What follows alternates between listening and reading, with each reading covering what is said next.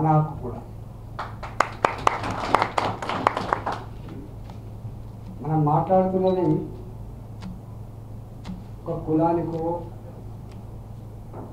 ఒక వ్యక్తికో ఒక వర్గానికో వ్యతిరేకించిన అంశం కాదు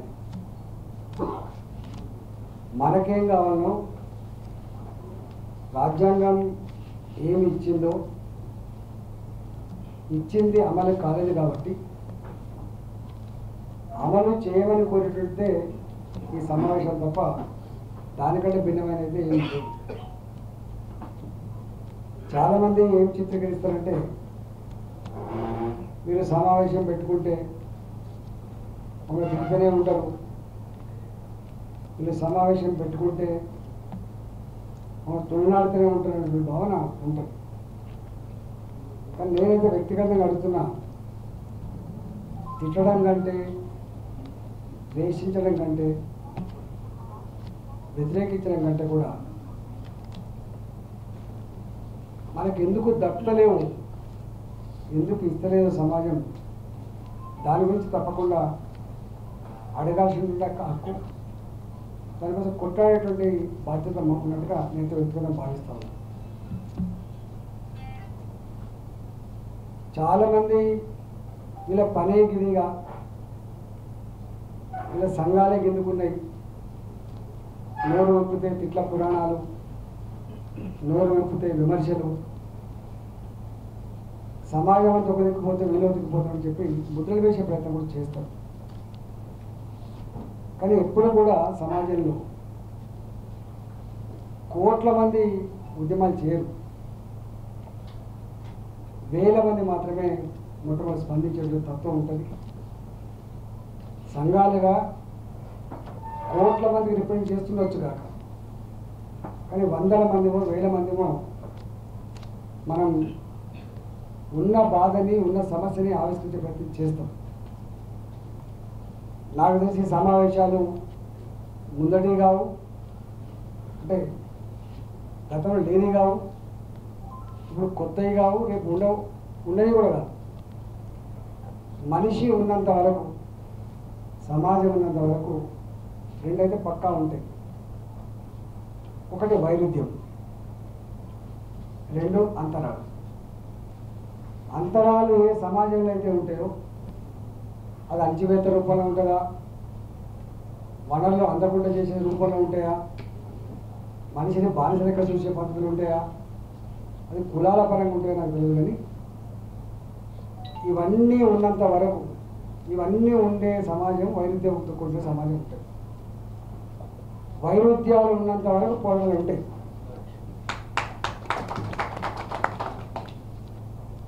అది ఏ రూపంలో ఉంటే ఎట్లా ఉంటుంది అనేది ఇప్పుడు మనం డిఫైన్ చేయలేం కానీ మీరు ప్రొఫెసర్లు మేధావులు కాబట్టి మీరు డిఫైన్ చేస్తారు. ఈ సమాజమే వైరుధ్యాలతో కూడిన సమాజం. అందుకనే అంబేద్కర్ గారు మనం చాలా గొప్పగా గౌరవంగా గర్వంగా చెప్పుకునే అంశం ఏంటంటే అంత పెద్ద మేధావి ప్రపంచంలో ఉన్న అన్ని దేశాల రాజ్యాంగాన్ని అవపోసనం చేసి ఈ దేశాన్ని గొప్ప రాజ్యాంగం అందించిందని చెప్పి వారి జయంతి ఉత్సవాలప్పుడు వారి వర్ధన సభలప్పుడు ఘనంగా జరుపుకుంటూ ఉంటాం నేను చాలాసార్లు మంత్రి నుండి కూడా అప్పుడు అడిగిన నేను. ముందుగా మనిషిని. నేను ముందుగా మనిషిని. ఆ తర్వాతనే ఒక ఎమ్మెల్యే కావచ్చు ఒక ఎంపీ ఒక మంత్రి కావచ్చు కాక ఈ దేశ పౌరుడిగా దేశ పౌరుల యొక్క అంతరంగాన్ని దేశ పౌరుల యొక్క ఆవేరుని ఆవిష్కరించని వాడు అని నాయకుడు కాలేడని చెప్పి నేను విశ్వసిస్తాను. కారణం లేకుండా ఆస్కారం ఉంటుంది. కాకపోతే మనిషి పాత్రలు ఒక్కొక్క సందర్భం ఒక్కొక్క రకం ఉంటుంది. తెలంగాణ ఉద్యమం ఆడు కొట్లాడే బాధ్యత నాది. ఎక్కడ టెంట్ వేసినా ఎక్కడ నినాదాలున్నా ఎక్కడ దుఃఖం ఉన్నా ఆ టెంట్ కిందికి పోయే దుఃఖానికి నేను తోడేటువంటి బాధ్యత ఉంటుంది. ఇప్పుడు నేను మినిస్టర్గా ఉన్నా. మీ ఆవేదనని తప్పకుండా నివేదించే ప్రయత్నం చేస్తే మీ ఆవేదన మీరు మాట్లాడినటువంటి ఎసెన్స్ని తప్పకుండా కొంత నివేదించే ప్రయత్నం చేస్తాం. అక్కడనేమో ఉద్యమం ప్రజల ఆకాంక్ష మేరకి ఉద్యమాలు అంటేనే ప్రజల ఆకాంక్ష మేర జరిగేటువంటి ఉద్యమాలు. ఇక్కడనేమో ప్రజల ఆకాంక్ష ఉన్నప్పటికీ కూడా మాకు కొన్ని పరిధిలో ఉండేటువంటి ఆస్కారం ఉంటుంది కాబట్టి కలెక్టివ్గా సమైక్యంగా తీసుకునేటువంటి నిర్ణయాలు కాబట్టి నివేదించే ప్రయత్నం చేస్తామని చెప్పి మీకు హామీ ఇస్తా ఉన్నా. మీకు తెలియదు కాదు నేను మీకంటే చాలా చిన్నవాణి మీకంటే తక్కువ తెలిసినవాడిని కూడా నేను. ఎందుకంటే మీరు అనేక దేశాల చరిత్రలు రాజ్యాల చరిత్రలు అనేక చదివి ఉన్నవాళ్ళు నిత్యం దాంట్లో ఉన్నవాళ్ళు నాకు మీరు విషయాలు తెలియకపోవచ్చు. కానీ ఒక్కటి మాత్రం పక్కా చెప్పదలుచుకున్న అంశం ఏంటంటే ఇంత గొప్ప రాజ్యాంగం అడాప్ట్ చేసుకున్న తర్వాత రాజ్యాంగం మీద ప్రమాణం చేసిన తర్వాత రాజ్యాంగమే ప్రామాణికంగా రాజ్యం నడుస్తున్నప్పుడు ఎందుకు ఇవాళ డెబ్బై ఐదు సంవత్సరాల తర్వాత కూడా ఈ సమావేశాలు పెట్టుకునేటువంటి దుస్థితి కలిగింది? మళ్ళీ మాట్లాడు మళ్ళీ మాట్లాడతా హక్కుల కోసమని కనీస అవసరాల కోసమని కనీస అవసరాల కోసం. ఇవాళకి కూడా దేశంలో కనిపించిన అమ్మా నాన్నకు అన్నం పెట్టిన దుస్థితి ఉన్నది. ఇవాళకి కూడా ఈ దేశంలో కన్న బిడ్డలకి కడుపు నిండా పడుతున్నది ఇవాళ కూడా కుటుంబాన్ని పోషించలేక విషం తాగి చనిపోయిన దుస్థితి ఉన్నది ఈ దేశంలో. ఈ దేశంలో డెబ్బై ఐదు సంవత్సరాల తర్వాత రిజర్వేషన్లు పోతాయని చెప్పి కళ్ళగన్న అంబేద్కర్. అసమానతలు పోతాయని చెప్పి కళ్ళగన్న అంబేద్కర్. అణిచివేతలు ఉండవు స్వేచ్ఛ జీవితం ప్రసాదించబడుతుందని చెప్పిన అంబేద్కర్. అనేక విషయాలు ఇప్పటిదాకా అరగోపంగా గారు చెప్పిండు కొంతమేరకు సఫలమైన సంపూర్ణ సఫలం కాలేదనేది ఇవాళ మన సమావేశం యొక్క సారాంశం. నిజంగా సంపూర్ణంగా అమలై ఉంటే ఇవాళ దళిత జాతిలో కూడా ఏబీసీలో వర్గీకరణ వచ్చేది కాదు. సంపూర్ణంగా అమలై ఉంటే ఇవాళ కూడా నన్ను ఏలో కలపండి అని చెప్పే డిమాండ్ వచ్చేది కాదు. ఈ గ్రూపు వచ్చేది కాదు. చివరికి ఈడబ్ల్యూఎస్ రిజర్వేషన్ కూడా వచ్చేది కాదు. ఇవన్నిటి కారణం రాజ్యాంగాన్ని సంపూర్ణంగా అర్థం చేసుకోవడంలో దాన్ని ఆచరించడంలో వైఫల్యం ఉంది కాబట్టే మనం ఇవాళ మాట్లాడుకుంటాం వాళ్ళ గారు మాట్లాడినా రమణ గారు మాట్లాడినా మీరు మాట్లాడినా? అందువల్ల ఏమడుగుతున్నారు ఎక్కడో రాజ్యాంగాన్ని అర్థం చేసుకొని అమలు చేయడం లోపం ఉంది కాబట్టి లోపాన్ని సరి చేసుకోమని చెప్పి అడుగుతున్నాం ఇక్కడ. లోపాన్ని సమ సరి చేసుకోండి. లేదా మనం ఇంతకుముందు చెప్పినట్టుగా అన్నిటికీ మెరిట్ ఉన్నది. కానీ రాజ్యాంగాన్ని అర్థం చేసుకునే మెరిట్ లేకపోతే ఇట్లా అని ప్రశ్న అడిగింది తప్పకుండా మనం నేను మీ అందరికి ఒక మాట నేను మీకు భరోసా ఇస్తున్నా. చైతన్యం సమాజాన్ని చల్లగా ఉంచేదని.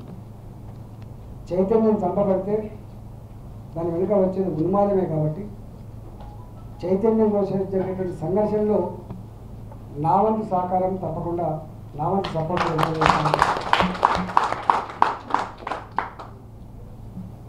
మురళీమణన్ గారు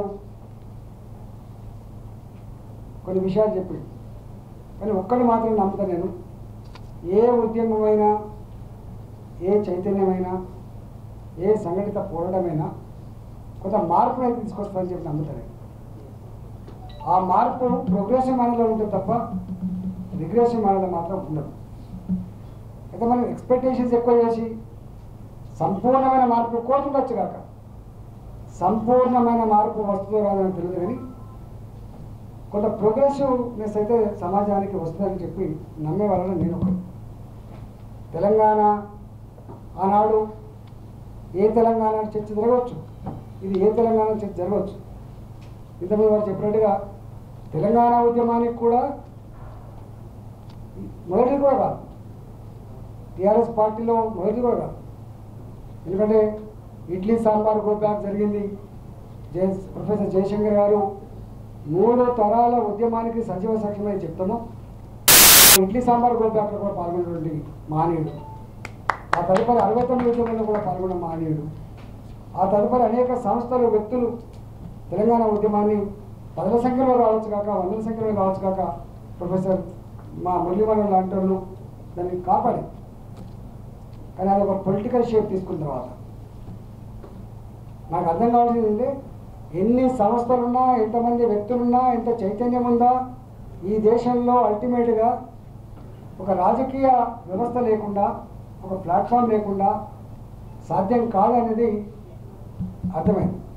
అందుకని ఈసారి తెలంగాణ ఉద్యమంలో కేసీఆర్ గారు ఒక మాట నినాదం ఇచ్చిండు ఈ తెలంగాణ ఈనాటి తెలంగాణ ఉద్యమం గుడ్డిగా నడవదు ఎడ్డిగా నడవదు. నైపుణ్యాన్ని సంతరించుకొని గతాన్ని తరికించుకొని నడతామని చెప్పిండు. తనకు ఒక రాజకీయ ప్లాట్ఫామ్ వచ్చింది.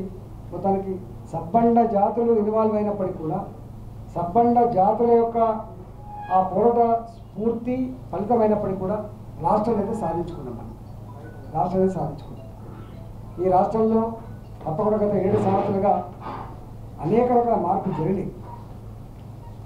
అది సంపూర్ణంగా జరిగినా కాదా మీరు మీరు మిమ్మల్ని కన్విన్స్ కానీ కొంత మార్పులు అయితే తప్పుడు జరిగినాయి దాంట్లో అనేకం.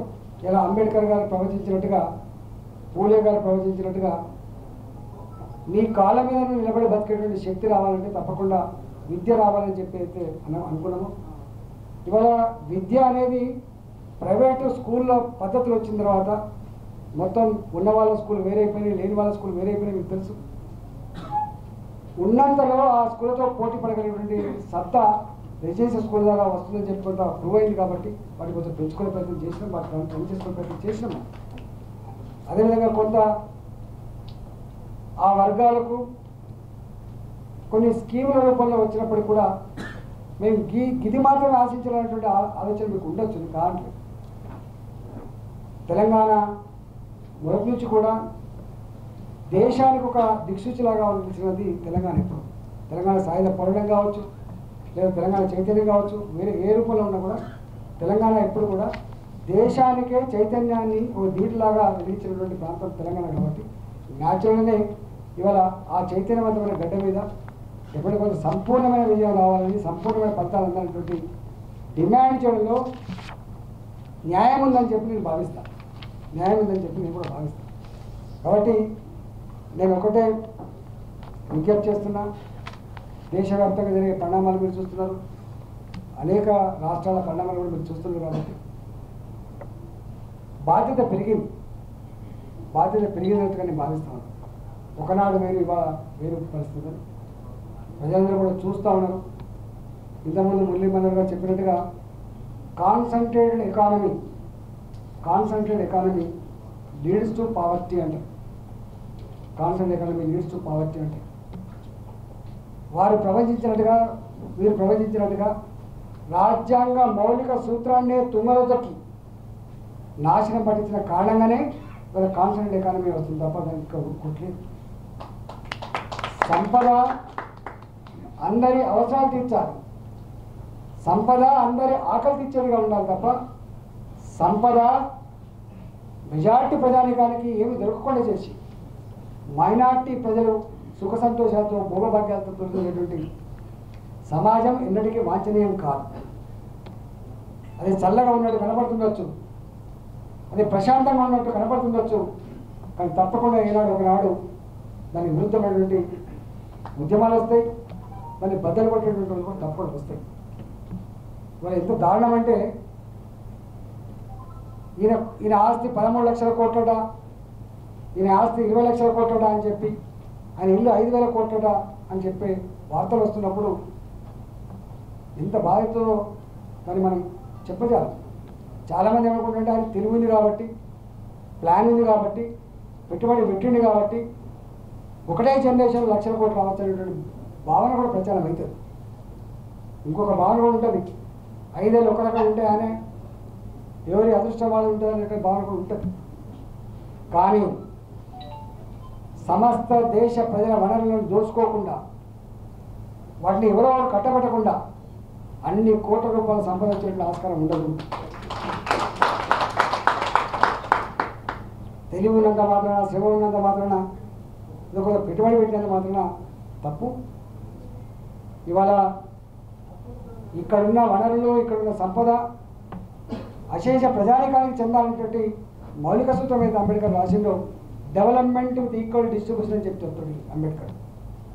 ఇంతవరకు article thirty eight thirty nine చెప్పినట్టుగా డెవలప్మెంట్ విత్ ఈక్వల్ డిస్ట్రిబ్యూషన్ చెప్పిన మానవుడు అంబేద్కర్ గారు రాజ్యాంగం అట్లే ఉంది.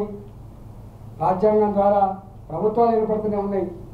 కానీ దేశంలో మాత్రం రోజు రోజుకి ఆకలి పెరిగిపోతుంది దరిద్రం పెరిగిపోతూ ఉంది.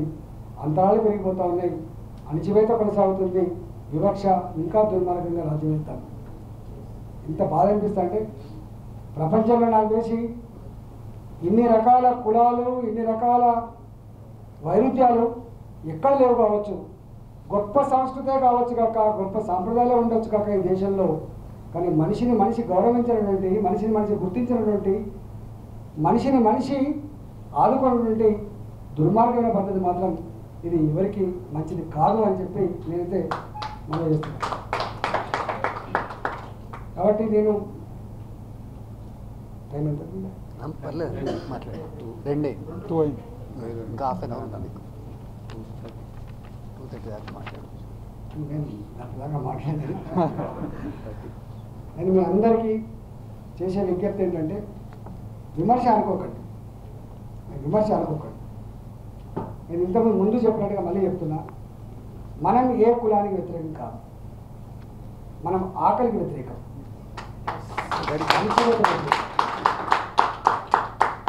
మనిషిని మనిషి చూస్తలేని దానికి వ్యతిరేకం. మనుషుల పట్ల వివక్ష వ్యతిరేకం. సంపద అక్రమంగా దుర్మార్గంగా అన్యాయంగా కొద్దిమంది కట్టబెట్టే పద్ధతికి వ్యతిరేకం మనం. ఒకప్పుడు భారత ఎకానమీ మనం ల్యాండ్ ద టిల్లర్ అని చెప్పి చట్టం చేసినప్పుడు గర్వపడ్డాం మనం. జా బ్యాంకుల జాతీయకరణ గురించి మనం గర్వపడ్డాం మనం. ప్రభుత్వ పరంగా ఇండస్ట్రీస్ పెట్టినప్పుడు మనం గర్వపడ్డాం మనం. ఇలా నవరత్నాలని చెప్పేది అనుకుంటామో అక్కడ కూడా గర్వపడ్డాం మనం. కానీ ఇవాళ వాటి కొద్ది మంది వ్యక్తుల చేతిలో కట్టబెట్టిన ప్రయత్నాలు ఏవైతున్నాయో అది అత్యంత దుర్మార్గమైంది బాధాకరమైంది. మరి ఏం మారింది? ఏం మారిందని చెప్పి ఈ ఈ ఇట్లాంటి వాడికి ఒడిగడుతుందో నాకు తెలియదు కానీ వాటి వల్ల వచ్చే దుష్పరిణామాలు ఏంటో మనకు తెలియదు కానీ ఒక్క మాట చెప్పాలంటే ఈ రాజ్యాంగం ఈ కట్టుబాట్లు ఈ శిష్టాలు ఎవడు తెలియగలడో వాడు బతాడు ఎవడు తెలియదు లేకపోతే వాడు పోతాడనేటువంటి సూత్రం అయితే వచ్చింది. ఇది ఎప్పుడు మంచిది కాదు. న్యాచురల్ జస్టిస్ ఉంటుంది. తల్లికి ఇద్దరు కొడుకులు ఉంటాయి తండ్రికి ఐదు మంది కొడుకులు ఉంటే ఆ ఐదు మందిలో ఏమైనా బలహీనమైన కొడుకుంటే ఆ తల్లి ఆ తండ్రి ఆ బలహీనమైన కొడుకు పక్షాన్ని ఉంటుంది. మీరు ఎక్కడ చూడండి. జనరల్గా ఎక్కడ పెద్ద పెద్ద ఫ్యామిలీ పది పన్నెండు మంది కుటుంబాల సభ్యులలో లాస్ట్ కొడుకు ఎక్కడ ఉంటారో లాస్ట్ కొడుకు దగ్గర పేరెంట్స్ ఉంటాయి ఎందుకంటే ఇంకా వారికి సమాజం పరిచయం కాలేదని వాడికి సెట్ కాలేదని వాళ్ళకి ఇంకా కొంత ఏర్పాల్సిన బాధ్యత ఉందని చెప్పి వాళ్ళు భావించి కొడుకు పక్షం ఉంటారు. ఇవాళ ప్రభుత్వాల బాధ్యత కూడా తల్లిలాగా తండ్రిలాగా ప్రభుత్వం అంటే ఏదో పట్టిగా పదవులు కాదు. ఈ రాష్ట్రానికి ఒక తండ్రి ఈ దేశానికి ఒక తండ్రి ప్రభుత్వాన్ని నిలవాలి కాబట్టి. ఆ తల్లికి ఏ సామాజిక కోణం ఉంటుందో ఆ తండ్రికి ఏ సామాజిక కోణం ఉంటుందో ప్రజల్ని కూడా ప్రజల్ని కూడా అందరిని ఒకలాగా చూడద్దు. లేని వారి పక్షాన ఉండాలి ప్రభుత్వాలు. ఉన్నవారి పక్షాన వాళ్ళు వాళ్ళు చేసుకోగలరు వాళ్ళ జీవితాలు వాళ్ళు చూసుకోగలరు చూసుకొని లేనివాడు చూసుకోలేనివాడు బతకలేనివాడు బాధల్లో ఉన్నవాడు ప్రభుత్వాల బాధ్యత కాబట్టి తప్పకుండా అటువైపే ఉండాలి తప్ప దానికి భిన్నమైనటువంటి మార్గాలు ఉండదు. అట్లయితే వాళ్ళు ఆ రాష్ట్ర ప్రజలకు తండ్రిగా భావించరు. ఈ దేశ ప్రజలు తండ్రిగా భావించట్లు ఆస్కారం లేదు. మార్పు ఒకేసారి జరుగుతుందని చెప్పి ఎవరు అనుకోవట్లేదు. Over period of process over period of time. Process జరుగుతుంది తప్ప వెంటనే జరుగుతుంది. లేదు. డెఫినెట్గా ఇవాళ సంఘాలు వ్యక్తులు ఒక్కోసారి విలేదని అనుకోవచ్చు కానీ ఇవి కూసే కోడిలాగా కూసే పుంజులాగా సమాజానికి ఒక దిక్సూచిలాగా నిలుస్తాయి. ఇంతకుముందు చెప్పినట్టుగా వైవిధ్యాల సమాజం చెప్తాం. ఈ ఈ సంఘాలు ఈ వ్యక్తులు కొంత పొడిచినట్టు అనిపిస్తుండొచ్చు మాట్లాడితే. కొట్టినట్టు కూడా అనిపిస్తుండొచ్చు తిట్టినట్టు కూడా అనిపిస్తుండొచ్చు. కానీ తప్పకుండా అవి ఆలోచించుకోవాల్సి అక్కడ ఉండదు ఎందుకు అంటున్నారో ఎందుకు పొడుస్తున్నారో ఆలోచించుకోవాల్సి అక్కడ ఉండదు దాన్ని లోపల లోపల అమలు చేసుకోవాల్సి అక్కడ ఉండదు ఎప్పుడు కూడా మస్క కొట్టేవానికంటే మత్పరిచ్చేవానికంటే మాయ చేసేవానికంటే అడిగేటోడే గొప్ప గుర్తుపెట్టు అడిగేవాళ్ళు లేకపోతే సర్దిద్దుకోరు అడిగేవాళ్ళు లేకపోతే సర్దిద్దుకోరు అడిగేవాళ్ళు లేకపోతే మనం ఏం చేస్తున్నామో పిల్లలు పరిస్థితులు కాబట్టి. సమాజం ఈ రెండు ఉంటేనే చల్లగా ఉంటుంది సమాజం ఇట్లా కొనసాగితేనే మంచి వైపు అడుగులు ఆస్కారం ఉంటుంది కాబట్టి. మళ్ళీ ఒకసారి ప్రపంచంలో మా మురళీ మనోహర్ గారిని పెద్దలందరూ చాలా పెద్దలు బాధ్యత పెరిగిందని ఎందుకంటున్నాం మీరు ఒక మాట అన్నారు. ఇలా ఓట్లు మన ఈ సీట్లు మన ఎట్లా సాధ్యమవుతుంది? నేను అడుగుతున్నా. ఎటువైపు పోయింది. అంబేద్కర్ గారు నాకు తెలిసి కొంతమందికే ఓట్లు ఉండాలి కొంతమందికి ఓట్లు ఉండదు అనేటువంటి చర్చ జరిగినప్పుడు కుస్తీ రోగికైనా ఓట్లు ఉండాలి గుడిసెల్లో ఉన్నవాడికైనా ఒకటే ఓటు ఉండాలి బంగ్లాలో ఉన్నవాడికైనా ఒకటే ఉండ ఉండాలని చెప్పి మనం గర్వంగా చెప్తాం. ఐదేళ్ళకు ఒకసారి కనీసం ఆ ఓటు కోసమైనా ఆయన వచ్చి దండం పెట్టిపోతాడు ఆ కుస్తీలో కూడా. ఆ గుడిసెలో ఉన్న వాళ్ళకైనా ఆ దండం పెట్టిపోయే పరిస్థితి నీవే ఓట్లు రేపు నీవే సీట్లు కావాలంటున్నావు. ఉన్నదా అట్లా పరిస్థితి? ఉన్నదా? మానవ సంబంధాలన్నీ మానవ సంబంధాలు ఉన్నాయా? మనీ సంబంధాలుగా మారిపోయింది ఆత్మ సంబంధాలు అవి మరింత పరిపుష్టి కాబోతున్నాయి. మరింత పరిపుష్టి కాబోతుంది నేను ఇంతకుముందు చెప్పినట్టుగా ప్రభుత్వ కాలేజీలు ఉన్నాయి. ప్రభుత్వ కాలేజీలు ఉన్నాయి. ప్రభుత్వ విశ్వవిద్యాలయాలు ఉన్నాయి. అందరూ సమానంగా భావించాలనేటువంటి యూనిఫామ్ కూడా ఉన్నది స్కూళ్ళల్లో. కానీ ఉన్న వాళ్ళ స్కూల్ వేరైపోయినాయి లేని వాళ్ళ స్కూల్ వేరైపోయినాయి. యూనిఫామ్ ఉంది ఈ స్కూల్లో యూనిఫామ్ ఉంది ఆ స్కూల్ ఈ స్కూల్ ఎవరు అంటే ఈ స్కూల్లో కావాలి చదువుకునేది ఈ స్కూల్లో ఉన్నోళ్ళు చదువుకునేది వచ్చింది.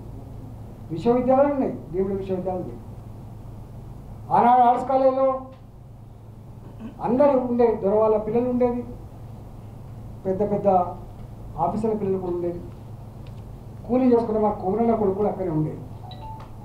కానీ వాళ్ళ ఈ విశ్వవిద్యాలయాలు మా కుమరన్న సమ్మన్న కొడుకులకు నిలయమైపోయింది ఆ విశ్వవిద్యాలయ డబ్బులు నిలయమైపోయింది సమాజం ఎట్లా చీల్చబడదు చూడండి అంటే ఇది కూడా మౌలిక సూత్రానికి విరుద్ధమైంది.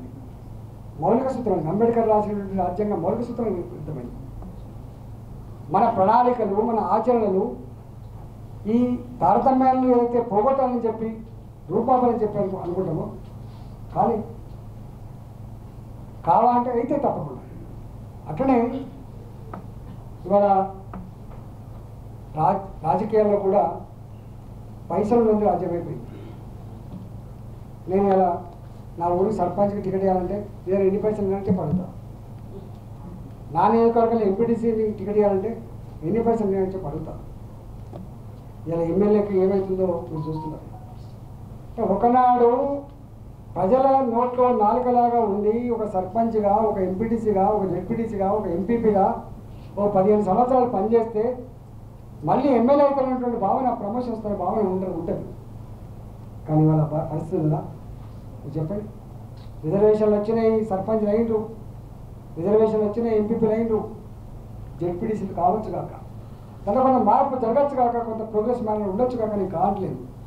కానీ అక్కడి నుంచి పికప్ చేస్తానా అక్కడ రాగానే నీ ఎమ్మెల్యే కావాలంటే నీకు ఇంత కావాలి నీకు లేవు అలసిపోయిన బిడ్డ అంటుంది నువ్వు ప్రజల పట్ల మంచి ప్రేమతో ఉన్నావు.